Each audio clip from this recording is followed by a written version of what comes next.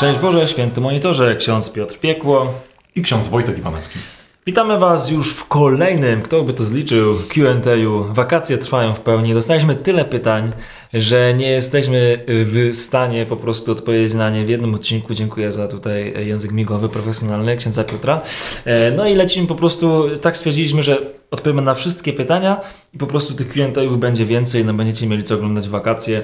Myślę, że e, wszyscy, wszyscy będą zadowoleni, no my na pewno. E, właśnie. Nie przedłużając wstępu, do Waszych pytań. Agata. Agata, Dajesz. dawaj. Czy pod sutanną trzeba nosić koszulę lub garnitur? O, jeszcze jak? Eee, Ciekawe pytanie, co powiesz? Ty bardziej sutanny, znaczy częściej chyba niż sutanny niż ja, więc... Ale nie trzeba nosić garnitura ani koszuli. No, ja uważam, że trzeba mieć długie spodnie pod sutanną. I to takie jakieś niepstrokate. Ehm, no i koszulkę, no i tyle. No. No co, no czasami wiadomo, wypada się ubrać porządnie, ale jak są takie temperatury, wiecie, 30 plus, no to naprawdę jest, jest ciężko. E, Ja uważam, że pod sutanną e, można mieć nawet krótkie spodenki. W momencie, kiedy ma się wyższe, znaczy ma się... Albo się, w sanda, e, jest się w sandałach na przykład. O, sandały ten- do sutanny. sandały do Ale kiedy byłeś na pielgrzymce do Częstochowy? Byłeś kiedyś w ogóle? Oczywiście. I co, szedłeś w pełnych butach i w spodniach długich i Tak, sutannie? sutanny. No. Zaskoczony, a naprawdę tak. Ja jakieś zdjęcie, jak będę miał to Filipowi poślę z Mikołowskiej pielgrzymki, jak tak szedłem. Ale to na Michałowskiej, ale to nie na tej... No ale to, to była najgorętsza pielgrzymka mojego życia wtedy, ale tak Mhm, poszedłem. mhm. Dobra, ja na Rybnicką chodzę I i, w grubszej uważam, że byłem. można być w W sandałach stanie skrepy byłem. bez skarpetek. Jak się ma pełne buty, to jednak te skarpetki może takie wyższe, żeby nie było widać gołych łydek, brzydkich, owłosionych, kapłańskich.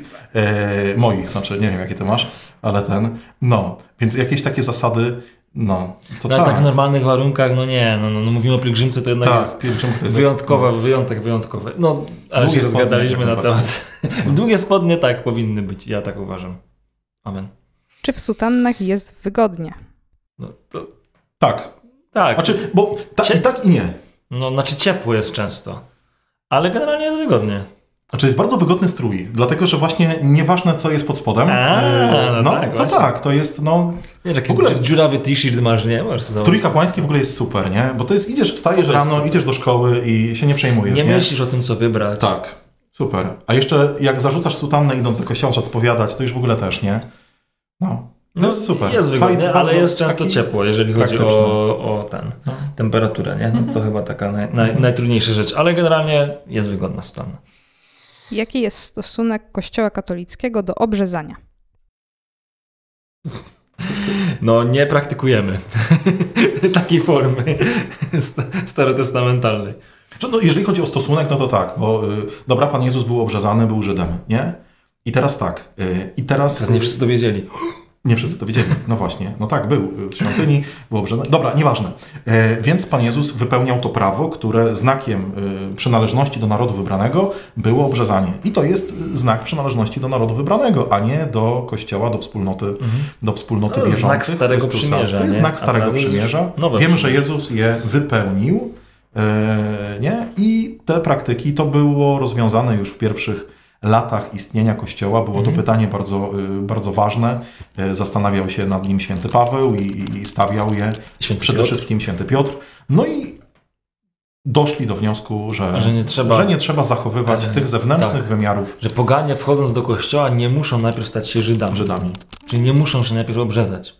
Tak? Tylko mogą po prostu od razu zostać członkami kościoła. Tak zwany chrzest. jerozolimski, Tak dzieje apostolskie. Polecamy. Dlaczego podczas procesji Bożego Ciała są cztery ołtarze? O, zastanawialiśmy się nad tym i Zastanawialiśmy się nad e, tak. E, I to, co symbolizuje ta liczba 4 w, ty, w tej sytuacji, cztery strony świata. E, bardzo często wiem, że w procesjach teoforycznych, czyli takich do, jak wychodzimy z Najświętszym Sakramentem e, wokół kościoła, czy wychodzimy na zewnątrz kościoła, to w niektórych częściach też naszego kraju, naszej ojczyzny, na Śląsku raczej nie, nie spotkałem się z tym, kapłan błogosławi na cztery strony świata. I najprawdopodobniej od tego yy, te cztery, cztery, cztery ołtarze. Ale też cztery Ewangelie są odczytywane na czter w czterech różnych ołtarzach. Więc to też y, Agata sprawdziła. Pewna, pewien symbol, symbol pe- pełni. Yy, Wychodzimy z Panem Jezusem, bo chcemy Go zanieść całemu światu, całej wspólnocie parafialnej. Więc błogosławimy na cztery strony świata e, i e, chcemy ukazać, powiedzmy, całość e, objawienia, pełnię, wyjść jakby z całym symbol, wyjścia z, z, z tym, co mamy najlepszego i co jest wszystkim tak naprawdę. Dlatego cztery Ewangelie. O, taka teologia. Następne. Od czego to zależy, ilu księży odprawia naraz jedną mszę? No to, to zależy od ilości intencji tak naprawdę, bo i od ilości księży na danej parafii, no to jest dużo takich zmiennych, nie? No bo, e, bo, bo na przykład jeżeli jest trzech księży, a są dwie msze danej parafii, tak? W tygodniu dajmy na to, no to wiadomo, że na jednej będzie dwóch. Nie, to się chyba rzadko zdarza, ale też się zdarza. No, a, czas, a czasami też jest tak, że po prostu ludzie chcą takich intencji i tak dalej, no i, i wtedy jest tak zwana msza święta koncelebrowana i są dwie intencje odprawiane przez dwóch kapłanów, czy tam trzech, jeżeli są trzy, e, na, na jednym mszy świętej. Więc to od różnych rzeczy zależy, przede wszystkim od ilości księży i od ilości intencji w danej, e, w danej parafii. Od czego to zależy, kiedy jest, a kiedy nie ma kazania? Od czego to zależy?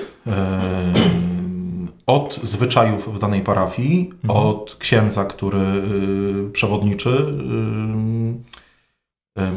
w dużej mierze od proboszcza. W dużej mierze od proboszcza, natomiast zalecenia y, Soboru Watykańskiego II, jakby reforma liturgii, która nastąpiła, bo pytanie jest o kazanie, y, to trzeba by było rozróżnić, czym jest homilia, czym jest kazanie, okay. więc myślę, że ktoś tutaj pytał o homilię, czyli o y, komentarz do Ewangelii, znaczy wiem, że było pytanie o, ale jakby próbując się domyśleć, z, jakby z kontekstu pytania, jakby z całości wynika, że, że chodzi po prostu o to, czy, od czego zależy, czy ksiądz odezwie się po Ewangelii, czy nie. No.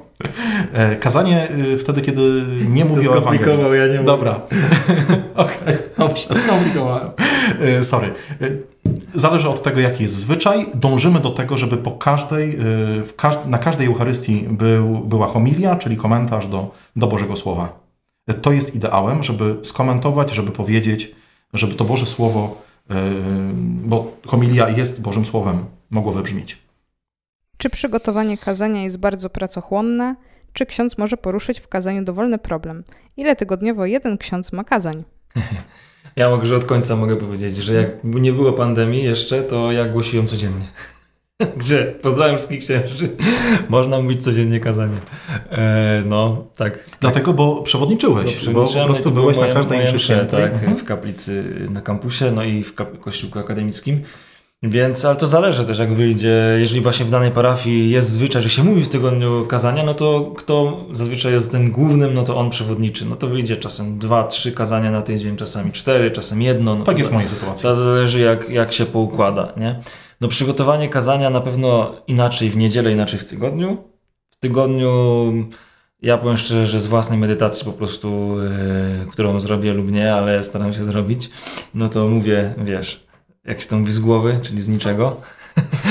ale no, nie, z własnej modlitwy, tak już poważnie rzecz biorąc. A niedzielne, no to trochę dłużej, to zależy też. No, zależy też, jak kto funkcjonuje, jak potrafi szybko się w ogóle przygotować do takiej yy, speechu, nie? Takiej przemowy, tak? No bo to i od stażu kapłańskiego na pewno też doświadczeń.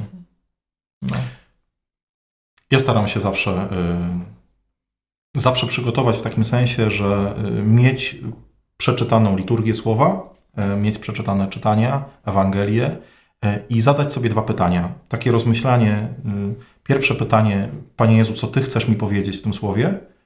I drugie pytanie, czy ja tym się mam podzielić z tymi, którzy, mhm. którzy będą tego słuchać. Czasami jest tak, że Pan mówi co innego do mnie, a, a prosi mnie o to, żebym co no innego tak. powiedział innym, ale często jest tak, że po prostu dzielę się swoim, swoim hmm. doświadczeniem, odkryciem Bożego Słowa w danym dniu, czyli w moim kontekście życia. I tam jeszcze było, czym dowolne rzeczy możemy poruszyć, tak? No, no generalnie właśnie to, to homilia, kazanie. Homilia wyjaśnia liturgię słowa, a kazanie jest tematyczne z zasady. E, no i generalnie e, no, powinniśmy nawiązywać do liturgii słowa, e, jeżeli tej, tej przestrzeni liturgicznej, ale to może być tak, że narzucamy sobie jakiś temat, a te czytania po prostu nas w tym wspierają. Czasami są jakieś serie kazań, nie, w danych parafiach, no to jak najbardziej, no ale dowolny temat, no, no wiadomo, że chodzi o wiarę, nie, no nie będziemy tam tak. gadali, tak. nie wiem, o jachtach, nie, ani, ani o euro. znaczy tak powinno być, no chyba, że jakiś, jakiś taki przykład, ale generalnie chodzi nam o wyjaśnianie prawdy wiary, tak? I komentowanie Bożego Słowa. Pytanie, y, które powinien sobie zadać każdy ksiądz, y, czy mówi homilię, czy kazanie, y, co jest pożytkiem duchowym tym, którym tak. to głosi? Znaczy, jakie są oczekiwania, jakie są pragnienia serca? Nie? No ale bo też co będzie dla nich dobre, bo nie co będzie, tak, tak, tak, tak, nie chodzi tak. tylko, żeby zabawiać tłumy, tak. nie? No to nie, chodzi, to nie jest stand-up kazanie, no, no to jest jednak... Nie, no oczywiście ja zakładam no, w tym wymiarze duchowym, nie? No, Więc mówię, no. jakie są oczekiwania, pragnienia, tak naprawdę Ty duchowe, zakładasz, że ludzie chcą do, czegoś dobrego. No ja zakładam, że jak przychodzą Zawsze zakładasz dobre w ludziach, to jest taki niesamowity. No dobra, okay. nieważne. Czemu księża z parafii nie odprawiający akurat danej mszy nigdy nie uczestniczą w niej po stronie wiernych? Bo najczęściej odprawiają tą mszę tak. świętą w innym, znaczy odprawiają danego dnia mszę świętą no. w innej godzinie. Znaczy my w Polsce w ogóle to wiecie, my naprawdę, naprawdę dużo odprawiamy mszy świętych i e, wydaje mi się, że po prostu, żeby każda msza była najważniejszym wydarzeniem dnia, bo tak powinno być to e, no nie, nie można być na trzech mszach danego dnia, czy czterech, znaczy no można, ale, ale rozumiecie, że to się po prostu zaczyna robić takie, no... To jest tak, jak ktoś chodzi po górach, taki przykład, nie? W ogóle, nie, tak, no zawsze jest ten najwyższy szczyt, który trzeba zdobyć. Nawet jeżeli idziemy jakąś granią, to idziemy na ten najwyższy, czy na ten, który dla nas jest najważniejszy, nie? Który jest sensem, istotą, i chodzi o to, żebyśmy każdego dnia przeżyli tylko jedną mszę, dlatego że, hmm. że, że, że, zdobywamy jeden szczyt. Nie, nie, nie ma sensu y, przeżywać dwóch, nie? Y, no czasami no, trzeba. Czasami trzeba, czasami... Ale no. czasami nawet trzy. Ale wierzcie mi, że na przykład jak jest taka niedziela, że mam trzy odprawić msze święte, na, na co mi pozwala prawo kanoniczne e, w niedzielę, no to e, naprawdę bardzo muszę się wysilić, żeby przeżyć tę mszę, żeby ją odprawić, wiesz... Tak pobożnie i żeby to było, nie? Ja sobie nie wyobrażam, że jeszcze sobie pójdę tak postać. No, no gdybym, gdybym może, nie wiem, w zakonie i się to rzadko zdarzało, wiesz, jeszcze przed soborem, to w ogóle inne czasy, no to tak, pewnie bym uczestniczył przy świętej, ale w tym momencie teraz i to, to, to po prostu dlatego, że, że, że praktycznie zawsze już ksiądz odprawił albo odprawi tego dnia mszę, więc dlatego w niej nie uczestniczę jako po stronie wiernych, nie?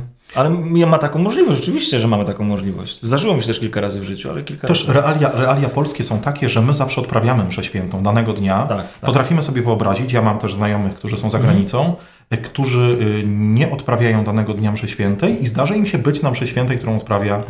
odprawia na tak, przykład tak. ich znajomy y, kolega ksiądz.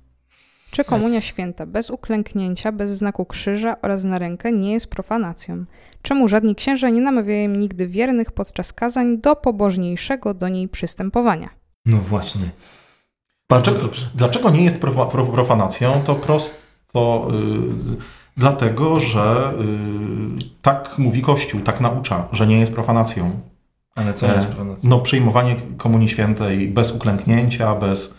Nie? Że mówiliśmy o tym, też polecamy odcinek, E, o, o tym, czy na, na rękę, czy do ust, chyba mhm. tak jest zatytułowany. Tak. Więc nie może być profanacją coś, co Kościół stwierdza, że profanacją nie jest. Mhm. I to jest, trzeba sobie no, bardzo są, mocno Mamy do dyspozycji obie te formy.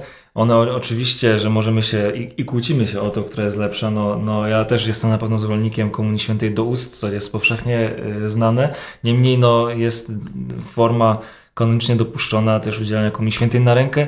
Myślę, że naszym zadaniem jest y, to, żeby uwrażliwiać y, wszystkich wiernych, no tak to nazwijmy tak kościelnie, no że po prostu Pan Jezus jest żywy i realnie obecny y, w chlebie eucharystycznym w każdej najmniejszej cząstce w każdej najmniejszej cząstce, bo to o to chodzi nie? Z, tym, z tą komuś na rękę przede wszystkim, że no raz, że ta hostia może upaść, to się tam czasem zdarza, e, a dwa, że właśnie no, te drobinki Najświętszego Sakramentu, które gdzieś tam na ręce zostają, no też trzeba by wypuryfikować rękę, sprawdzić, czy tam tego Najświętszego Sakramentu nie ma. No to o to mm, myślę by chodziło i e, no i tyle, a, a to co tam pisze o przyklęknięciu i tak dalej, no jakby e, wiecie, no może, oczywiście to, to, to, to jest jedna z opcji, ale można też klęknąć wcześniej, można skłonić głowę. No, tutaj y, ta liturgia y, pozostawia pewną, pewną dowolność, mówiąc o tym, że na przykład niektórzy nie są w stanie uklęknąć, no i co zrobią? No, no nie są w stanie. Aby więc, chcieli. Aby chcieli, no i, i, i tyle. Ale no, oczywiście, no,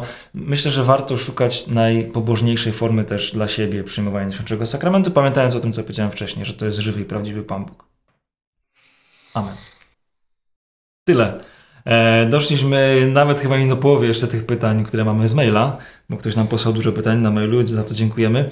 E, no i będzie jeszcze kolejny Q&A. To jest, to jest właśnie ta dobra wiadomość dla wszystkich, znaczy mam nadzieję, że dobra wiadomość dla Będzie, wszystkich. będziemy to publikować w wakacje, więc Będziemy to wakacje, wakacje, z- więc y, nie wiemy jeszcze dokładnie kiedy, ale będzie. Będzie tam taki czas, że jeszcze się pojawi Q&A, także stay tuned. E, A za dzisiaj Wam e, serdecznie dziękujemy i życzymy Wam, żeby Wasze monitory Całe wasze życie, urlopy i wakacje. były święte. Amen. Amen.